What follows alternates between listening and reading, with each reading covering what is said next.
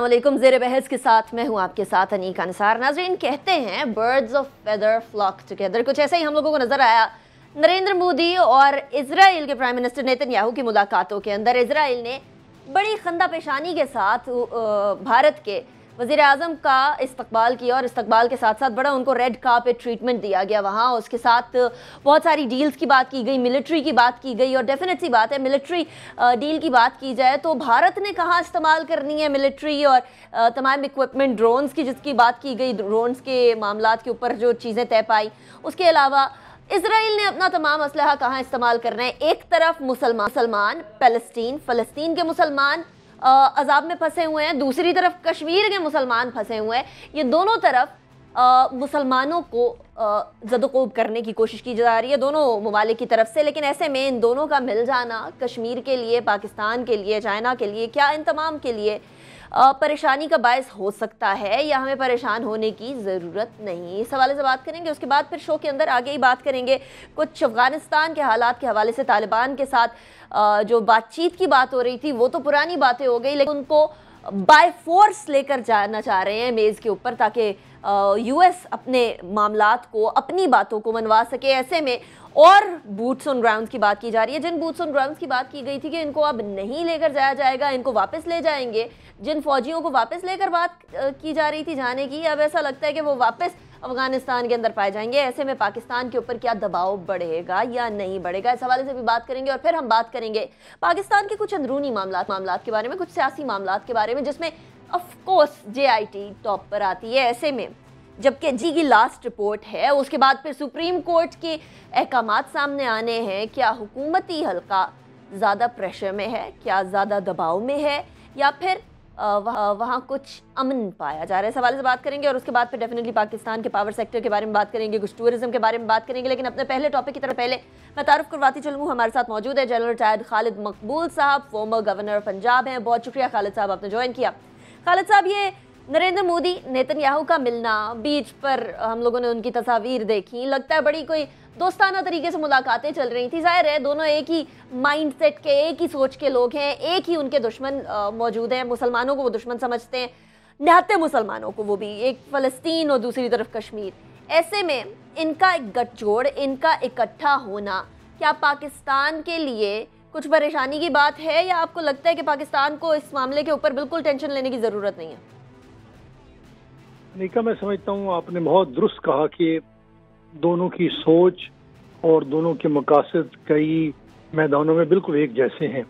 देखिए, हिंदुस्तान और इसराइल की जो ख़ास तौर पर सिक्योरिटी और डिफेंस में जो ताउन है, ये तो बहुत पुराना है। कई चीज़ें ज़ाहिर होती हैं, कई ज़ाहिर नहीं होती।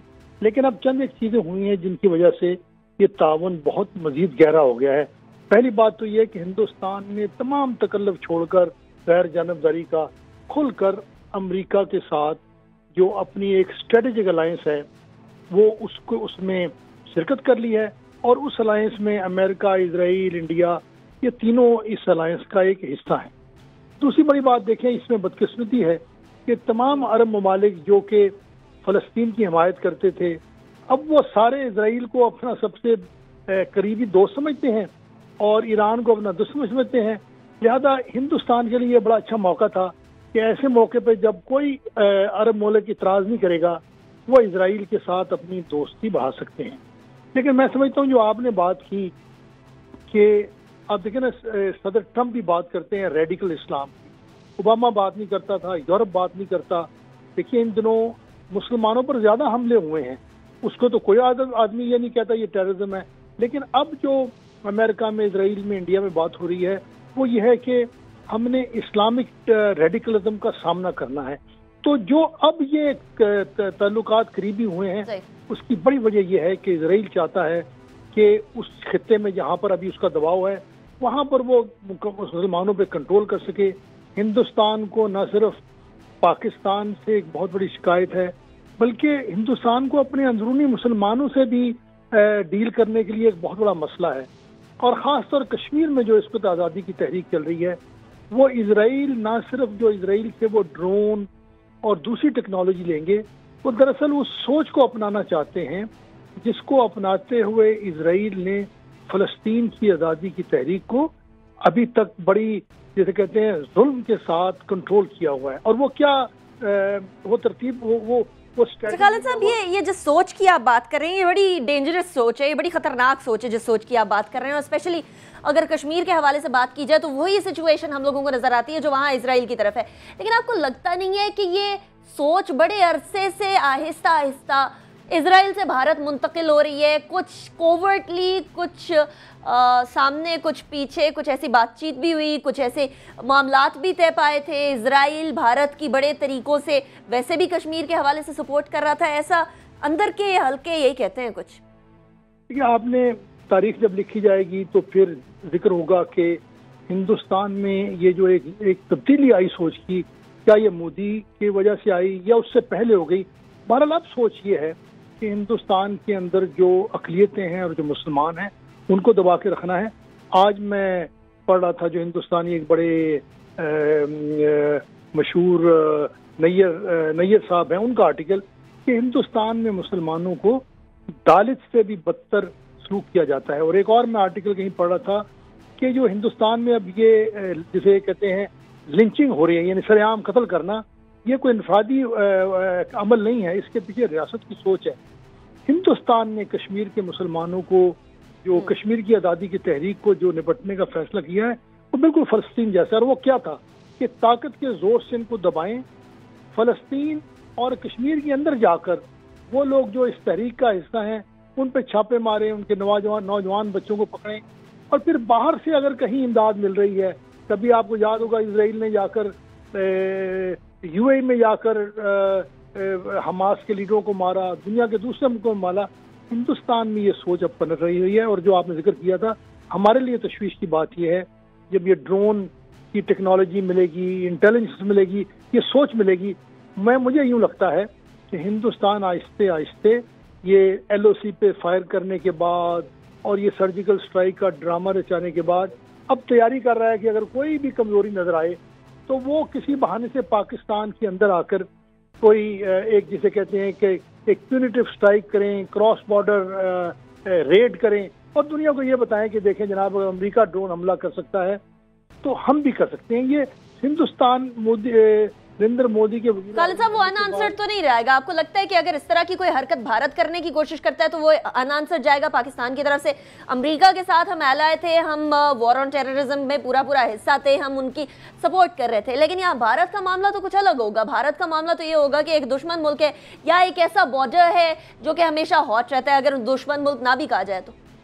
देखिए मैं समझता हूँ ना सिर्फ़ ये भारत का मामला है बल्कि अमेरिका के मामले में भी इसको पाकिस्तान इस मुकाम पर है कि हमने जो कुछ करना था कर लिया। हमने अपने अंदर इतनी बड़ी एक टेररिज्म को ख़त्म किया। हमने तमाम लोग जो कि बाज़ार मकबूल थे उनको भी दबाया। अब हम कुछ और नहीं कर सकते। अब दुनिया को हमारे साथ ताउन करना पड़ेगा और हिंदुस्तान के सिलसिले में ख़ास तौर पर मेरे ख्याल में हमने बाज़ दफ़ा कहा है कि हम अमन चाहते हैं मुजाकर चाहते हैं। शायद हमने ज़्यादा दफ़ा कह दिया है। हमें ये कहना चाहिए कि जनाब आपकी तरफ़ से अगर हम्म। कोई भी ऐसी क्रॉस बॉर्डर या हमारे खिलाफ कोई भी जारियत होगी जो नज़र आ रही है या नज़र नहीं आ रही, हम उसका जवाब देंगे। और देखिए, अभी तक अल्हम्दुलिल्लाह लोगों के जज्बे की जो जो आज़ाद कश्मीर में लोग जिससे जानों को कुर्बानी दे रहे हैं कि अफवाज पाकिस्तान जिस ज़रूरत से हिंदुस्तान की जारियत का मुकाबला कर रही हैं, जो आपने कहा कि न सिर्फ़ हिंदुस्तान को, बल्कि दुनिया को समझना चाहिए। और मैं समझता हूँ, जब सेनेटर मकेन आए थे, उन्होंने ये तो नहीं माना कि ये सियासी मसला कश्मीर का। बहरहाल उन्होंने इतना ये कहा कि कश्मीर में अमन होना चाहिए। तो मेरे ख्याल में पाकिस्तान अब दुनिया को बता रहा है कि देखें हम्म। अब हम आप हर तो को हम हमसे करते हैं। अब हमारा भी सबर का पैमाना खत्म हो जाएगा। हम जो भी दखल अंदाजी होगी हमारे खिलाफ जारियत होगी हम उसका जवाब देंगे। और अभी तक अल्हम्दुलिल्लाह मैं समझता हूँ हमने बहुत बड़े दबाव का मुकाबला किया है। और दुनिया को ये एहसास होना चाहिए कि अगर ये जनूबी एशिया में पाकिस्तान और हिंदुस्तान के दरमियान अमन नहीं होता तो ये पूरी दुनिया का अमन खराब हो सकता है क्योंकि पाकिस्तान हर वक्त जिसे कहते हैं पंचिंग बैग नहीं बन सकता। हम हिंदुस्तान की या दुनिया की जहरीत का जवाब देंगे अपनी जो खुद मुख्तारी है उसकी हिफाजत करेंगे क्योंकि पिछले पंद्रह साल से हम वो वाहद एक मुल्क और एक वो फौज है जिसने ये करके दिखाया है। मैं हर प्रोग्राम में कहता हूँ ठीक है। कि इराक में ये चीज़ कामयाब नहीं हुई ये चीज़ सीरिया में कामयाब नहीं हुई लीबिया में कामयाब नहीं हुई अफ़गानिस्तान में कामयाब नहीं हुई लेकिन अल्हम्दुलिल्लाह हमने बहुत हद तक अपने मुल्क में दहशत गर्दी को कंट्रोल किया है। और अब हम अपनी खुद मुख्तारी की हिफाजत करने काबिल है।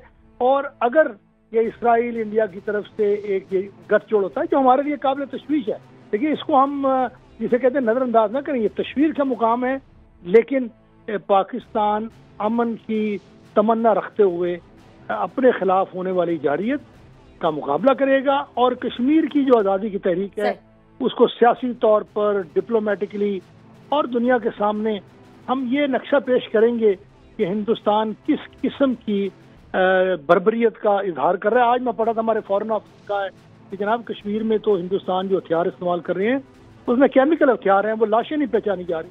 तो अब ये भी वक्त है कि हम केमिकल दुनिया दुनिया के सामने हिंदुस्तान की हम हम अपनी अंदर जो कमजोरियाँ हैं उसको दूर करें और जो हिंदुस्तान बर्बरियत के इजहार कर रहा है तो दुनिया को खुलकर बताएँ ताकि दुनिया को भी इसकी समझ लगे। सही है। खालिद ब्रेक की तरफ़ जाना है। मुझे डेफिनेटली भारत की अपनी ही पॉलिसी ऐसे नज़र आता है कि जैसे बौखलाहट का शिकार है। एक तरफ़ वो कश्मीरियों को अपनी गाड़ी के सामने बिठाकर ढाल की तरह इस्तेमाल करते हैं, यानी इतना खौफ है। दूसरी तरफ़ बुरहान वानी के योम शहादत को मनाने के लिए उनको इजाज़त नहीं दी जाती कि वो किसी तरीके से उस दिन को मनाएँ। इतना खौफ है। लेकिन एक तरफ़ पाकिस्तान की पॉलिसी भी रिएक्टिव की प्रोएक्टिव की बजाय रिएक्टिव नज़र आती है। हमारी foreign former foreign minister Hina Rabbani Khar साहिबा भी कहा करती हैं कि पाकिस्तान की पॉलिसी को प्रोएक्टिव होना चाहिए रिएक्टिव नहीं होना चाहिए। All of a knee jerk reaction नहीं आना चाहिए। इसीलिए पाकिस्तान को भी देखना होगा कौन दोस्त है और कौन दुश्मन। कौन दोस्त है, कौन दुश्मन की बात करें तो अगले टॉपिक की तरफ़ जाएँगे, लेकिन एक ब्रेक के बाद।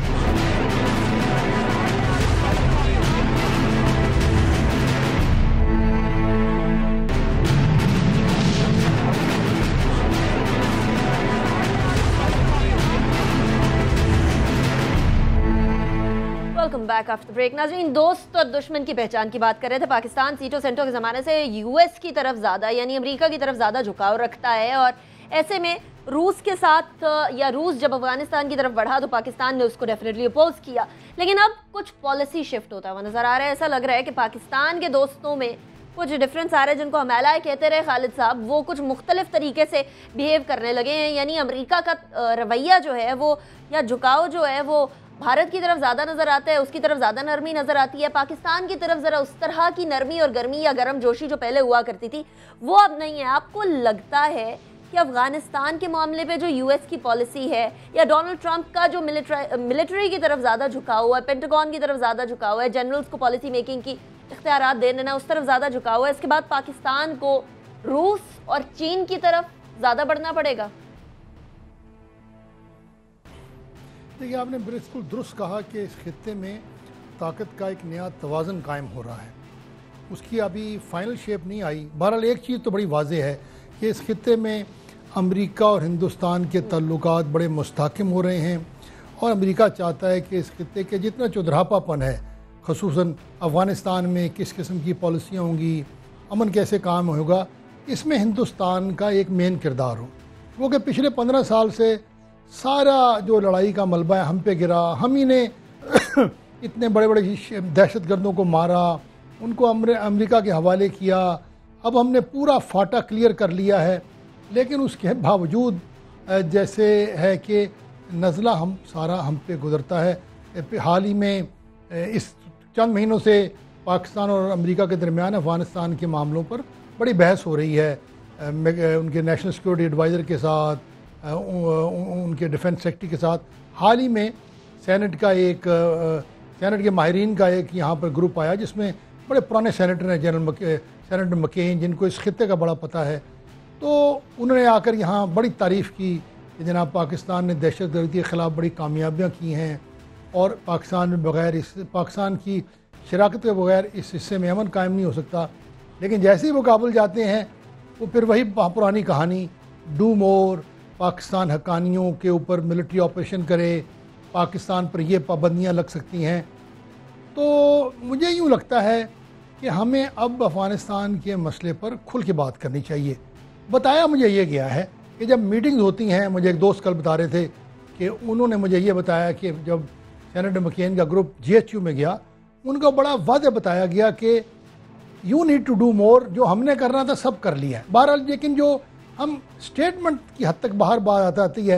हम बहुत ज़्यादा मुझे लगता है कि अपनी जो है सिंसेरिटी अपने खलूस का मजारा करना चाहते हैं। मेरे ख्याल में हमें कहना चाहिए कि हमने हर वो चीज़ मुमकिन है जो कर दी। अफ़गानिस्तान में अमेरिका और अमेरिका के हवारीयों की, अफ़गानिस्तान की अपनी पॉलिसियाँ फेल हो रही हैं। पंद्रह साल से आपने तकरीबन एक ट्रिलियन के करीब वहाँ ख़र्चा किया है। हकीकत यह है, इस वक्त चालीस फ़ीसद हिस्सा जो है अफ़गानिस्तान का उसको तालिबान कंट्रोल कर रहे हैं। अब तालिबान को इमदाद पाकिस्तान की तरफ़ से नहीं मिल रही। अब तालिबान को इमदाद रशिया और ईरान से मिल रही है। इसका इजहार ख़ुद अमरीका कर रहा है। और अफ़गान फ़ौज तो एक दिन भी दुनिया के पैसे के बगैर नहीं रह सकती। मैं उनकी कोई, क्या कहें, उन पर तनकीद नहीं कर रहा।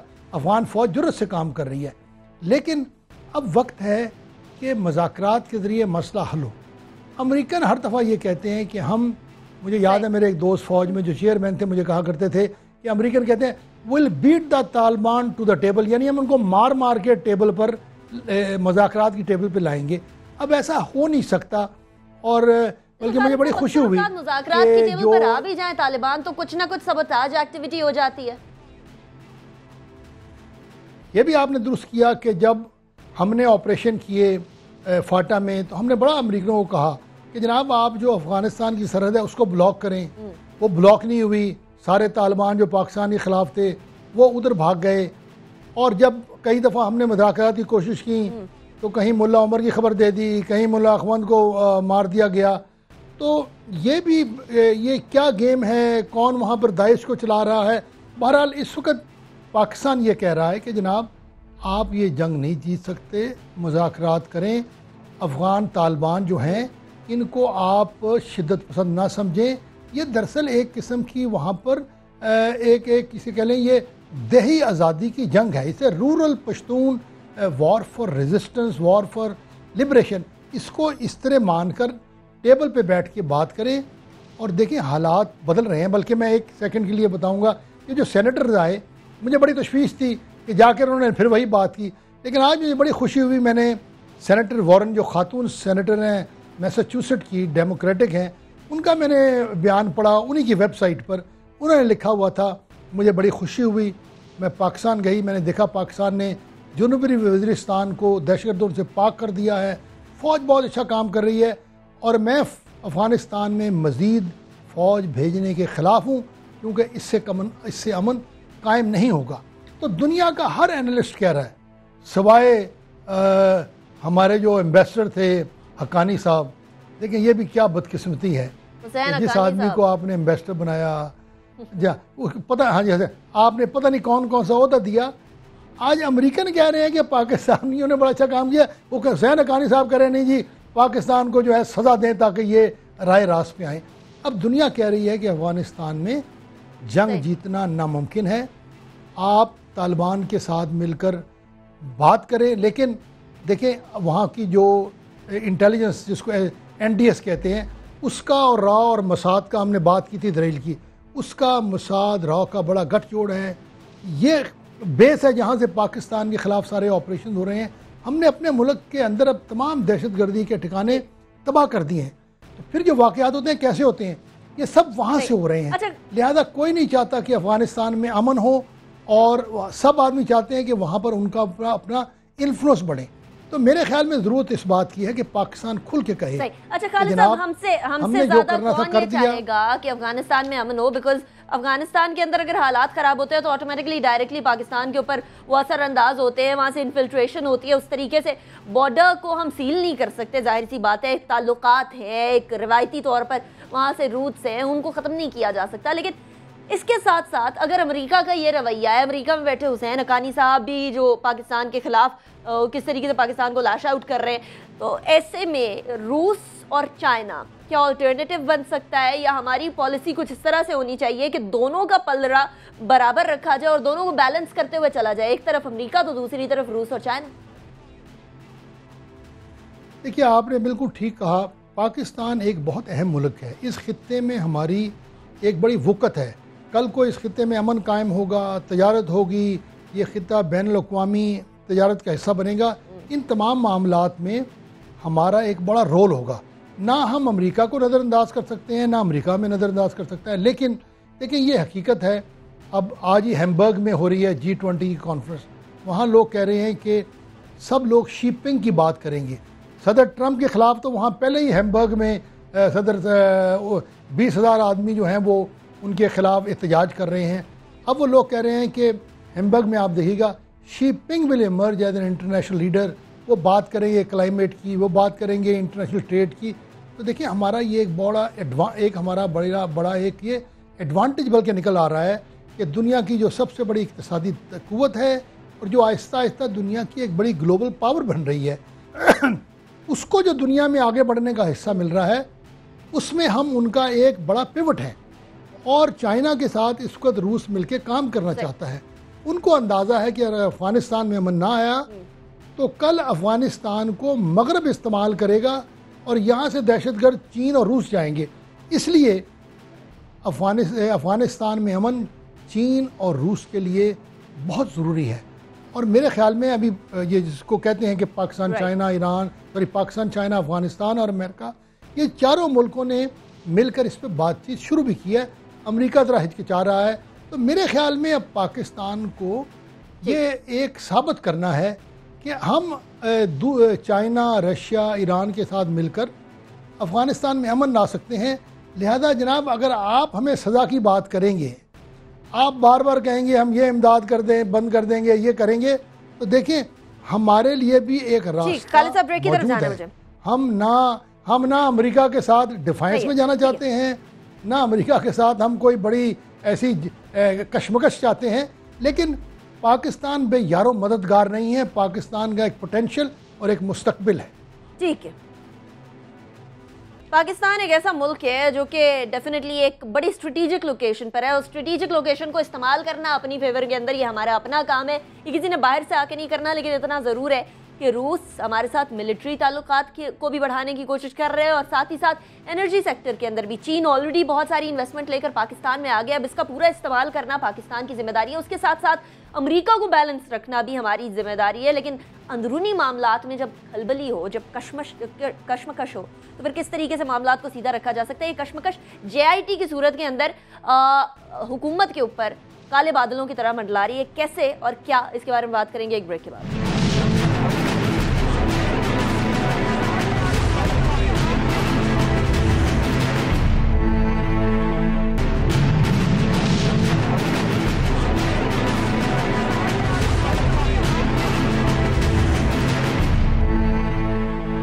बैक आफ्टर द ब्रेक नाजरीन, जब से जेआईटी का मामला सामने आया है पैनमा केस का फैसला सुनाने के बाद जेआईटी की तश्कील दी गई और जैसे जैसे रिपोर्ट सामने आती रही वैसे वैसे हुकूमती हलकों के अंदर भी घबराहट बढ़ती रही नर्वसनेस बढ़ती रही और साथ ही साथ रिटेलिएशन भी बढ़ती रही। ऐसे में जेआईटी की आखिरी रिपोर्ट 10 तारीख को पेश की जाएगी और इस रिपोर्ट के बाद सुप्रीम कोर्ट अपना फैसला सुनाएगी इस केस के हवाले से, जो कि डेफिनेटली एक संगे मील के तौर पर पाकिस्तान की हिस्ट्री का हिस्सा बन सकता है, बनेगा। और इससे बहुत सारे मामला की क्लैरिटी मिलेगी। खालिद साहब, ये जे का मामला हुकूमती हलकों में आपको नर्वसनेस नज़र आ रही है या जिस तरह मरीम नवाज़ साहब ने बड़े कॉन्फिडेंटली आके तमाम बातें कही और कहा कि जे के पास मेरे सवालों का जवाब कोई नहीं था। जो सवाल उन्होंने पूछे वो एक तरफ़ है, उनका जवाब तो तमाम के तमाम लोग देते भी आए आपको लगता है कि वो कॉन्फिडेंस जो मरीम नवाज़ साहिबा ने दिखाया, वो असल चेहरा है? या जो तस्वीर, या जो बातें गर्दिश करती रहती हैं, या जो एकदम से गुस्सा नज़र आ जाता है हुकूमती हल्के में, वो चीज़, ये बात की गमबाज है कि वाकई में हुकूमती हल्कों के अंदर कोई घबराहट पाई जाती है। देखिए, बजाहरन तो यही नज़र आ रहा है कि जे ने जिस तरह अपनी तफ्तीश की है और जिस वसत से उन्होंने तफ्तीश की है बज़ाहरन हुकूमत उससे बड़ी नाला और परेशान लगती है। और जो हुकूमती बयान हैं वो तो ये भी इस चीज़ का इजहार करते हैं कि हुकूमत शायद एक जिसे कहते हैं डिफेंस में चली जाए। लोगों ने दिए कहा जनाब सुप्रीम कोर्ट पे हमले हो जाएँगे। लेकिन मुझे यूँ लगता है कि जब ये जे और सुप्रीम कोर्ट का फ़ैसला हुआ उस वक्त पाकिस्तान में एक फ़ैसला किया गया कि जनाब इस कार्रवाई को पूरा किया जाएगा। और इस कार्रवाई को जो लोग पूरा कर रहे हैं उनको मुकम्मल तौर पर हिफाजत दी जाएगी। तो जिसे ये कहते हैं कि सुप्रीम कोर्ट और जीआईडी के काम की जो एक अश्योरेंस जो है उसका तो बंदोबस्त हुआ हुआ है। यानी जेआईटी और सुप्रीम कोर्ट अपना काम आज़ादाना तौर पे करेगी। अब वो क्या फ़ैसला देते हैं?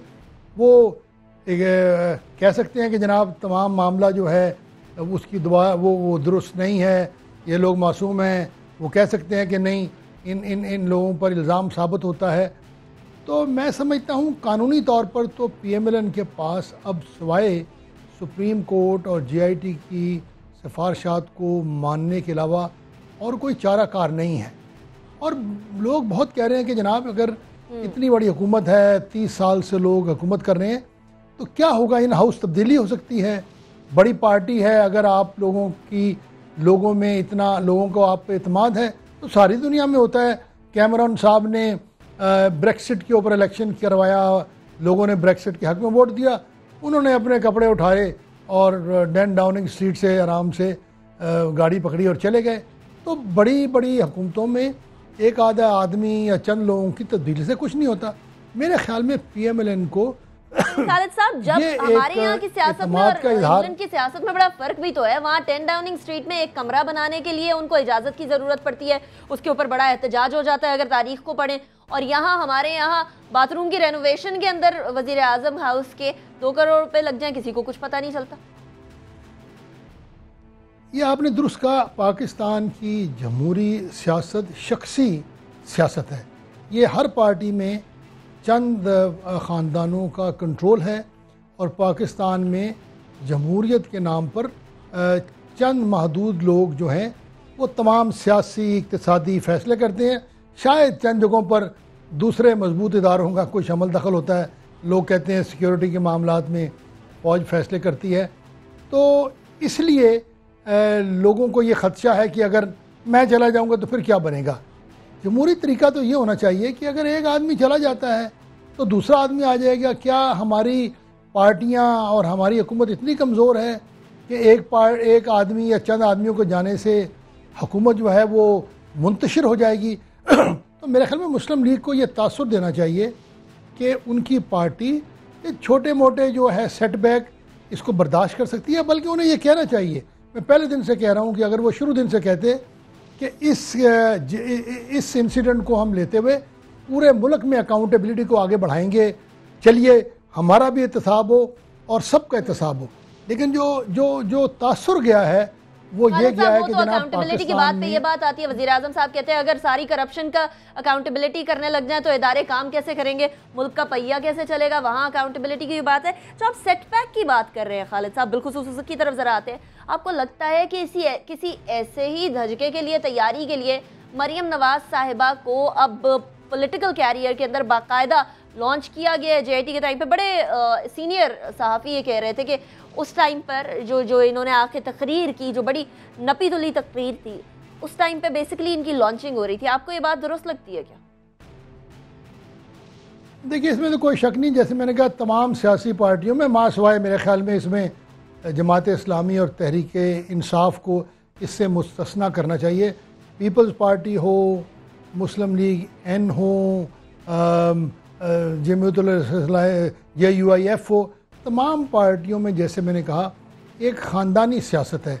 और पी एम एल एन के बारे में तो अमूमन ये कहा जाता है कि पंजाब में और और वफाक में जो अगले पौध है, उनको सियासत और क़्यादत के लिए तैयार किया जा सकता है। जैसे कि हिंदुस्तान में कांग्रेस में, कांग्रेस के बारे में ये लोग बात करते हैं। क्योंकि मैं समझता हूँ अब हालात बदल रहे हैं। देखिए, मैं ये समझता हूँ कि अगर मुस्लिम लीग एन करप्शन के ख़िलाफ़ अकाउंटेबिलिटी के हक़ में तहरीक चलाती तो लोग शायद अतमाद का इजहार करते। लेकिन चूँकि ये अकाउंटेबिलिटी के हक़ में खड़े नहीं हुए, अब पाकिस्तान में हर सियासतदान चाहता है कि उसका बचाव हो जाए। इनकी देखा देखी देखें सिंध असम्बली ने यह कानून पास कर दिया है कि नैब के कानून का सिंध पर इतलाक नहीं होता। आप कह रही थी कि शायद गवर्नर साहब ने उसकी मंजूरी नहीं दी शायद नैब सुप्रीम कोर्ट में इसके खिलाफ जाए वो बात की बातें हैं लेकिन एक सोच का इजहार तो है एक सोच का इजहार तो है कि जनाब चूँकि मैं मुंतखब हूँ लिहाजा मैं कानून से बालातर हूँ सियासी फ़ैसले करने हों इकतसादी फ़ैसले करने हों ये मैं हर चीज़ खुद करूँगा। आप देखें इस सोच की बिना पर अमेरिका में सदर ट्रंप के ख़िलाफ़ बहुत बड़ी मुखालफत है। जनाब आप कौन होते हैं बग़ैर मशवरा किए हुए चीज़ों के बारे में फ़ैसला करने में। तो मेरे ख्याल में अब ये वक्त है कि इज्तमाही फ़ैसले किए जाएँ और खान और, और एक शख्सी सियासत की बजाय इदारों को मज़बूत किया जाए। देखिए अगर आज हमारे इदारे मज़बूत होते पी एम एल एन क्या कर रही है?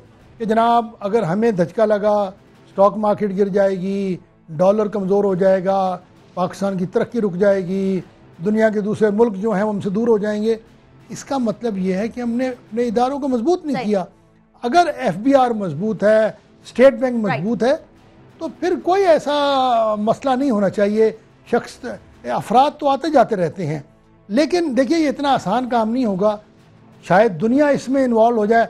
आज मैं किसी पाकिस्तानी अखबार में रिपोर्ट अच्छा, पढ़ रहा था कि जनाब सेनेटर मकेन ने कहा ठीक कि सेनेटर मकेन ने कहा कि नहीं हम तो चाहते हैं कि यही हुकूमत कायम रहे। तो देखें ये सुप्रीम कोर्ट और जीआईटी का जो फैसले होंगे मेरे ख्याल में पाकिस्तान की सियासत पर इनका बड़ा गहरा असर पड़ेगा लेकिन ये फैसले करने इतने आसान भी नहीं चलिए खालिद साहब ब्रेक की तरफ़ चलते हैं। गहरा असर तो डेफिनेटली पड़ेगा और पाकिस्तान उसका खुमियाजा भी भुगतना पड़ेगा कि अगर वाकई में करप्शन एक ऐसे खानदान की जो कि पाकिस्तान के ऊपर रूल करता है उसकी करप्शन सामने आ जाए सुप्रीम कोर्ट का कोई ऐसा फैसला सामने आ जाए कि वज़ीर अजम साहब के खिलाफ हो उसके बाद फिर क्या कदम होगा हुकूमत का और हुकूमती जमात का वो तो देखना ही है लेकिन वाकई में इदारे शायद आज मज़बूत होते तो शायद ये वक्त ना देखना पड़ता है। जिन अदारों को कॉन्स्टिट्यूशन में ऑटोनमी दी गई है कॉन्स्टिट्यूशन में पूरे पूरे इख्तियार दिए गए हैं, वो इख्तियार नहीं इस्तेमाल करते रहे और सुप्रीम कोर्ट की रूलिंग या सुप्रीम कोर्ट की ऑब्जर्वेशन भी उस हवाले से हमारे सामने। ब्रेक की तरफ़ जाएँगे, ब्रेक के बाद शो को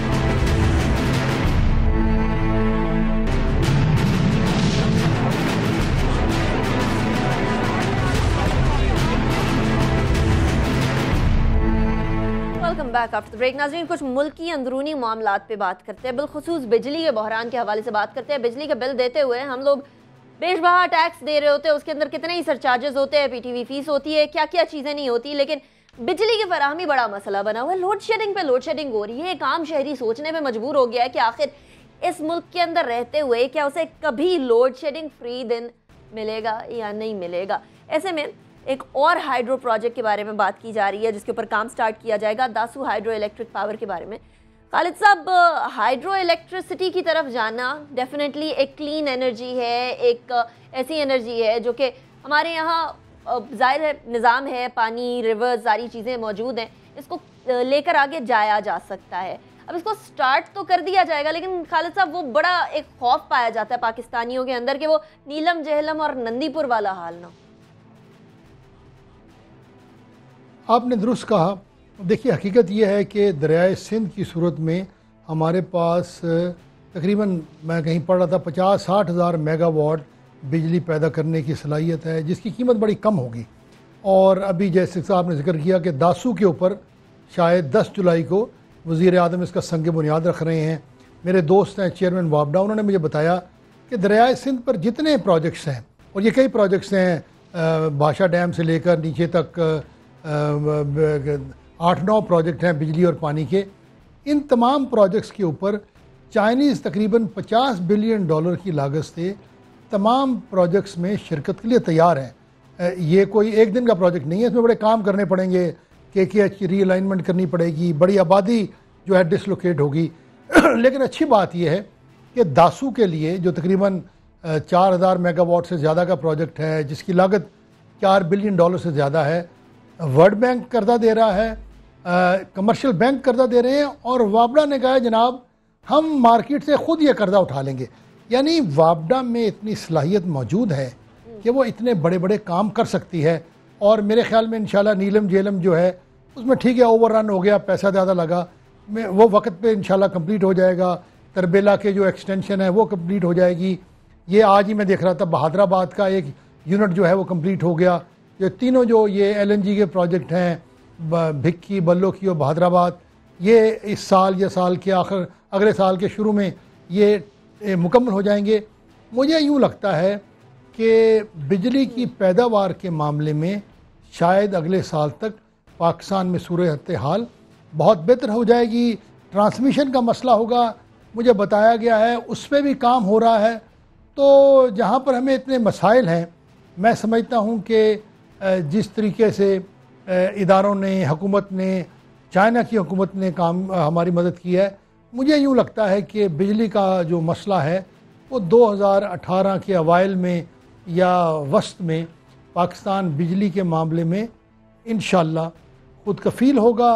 और ये हमारे लिए एक बड़ी मुस्बत अमर होगा, क्योंकि इससे इंडस्ट्री, सोसाइटी को मौका मिलेगा। बहरहाल इसमें मसले और होंगे। बिल कितना आ रहा है, प्राइसिंग कितनी है ऊपर खुद कफील तो की जाती है ये कहा जा रहा है सरप्लस हो। जाएगी बिजली। मतलब हम एक्सपोर्ट करने के काबिल हो जाएँगे। ये आप ठीक कह रही हैं क्योंकि जो आप सारे प्रोजेक्ट्स का इनका कुछ मैंने ज़िक्र किया उसमें और है। ये मोमिन डैम या जिसे मुंडा डैम कहते थे फिर ये के पी के में छोटे डैम बहुत ज़्यादा हैं। तो कहा तो यही जा रहा है कि पाकिस्तान में बिजली की सूरत हाल जो है वो बेहतर हो जाएगी और हम बिजली एक्सपोर्ट करने के काबिल हो जाएँगे।